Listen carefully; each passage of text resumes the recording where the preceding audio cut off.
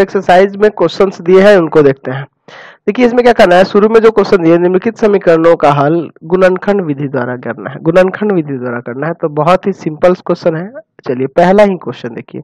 दिया है two x square plus three बराबर ज़ीरो इसको आप दो तरीके से बना सकते हैं। सिंपल तरीका समझिए।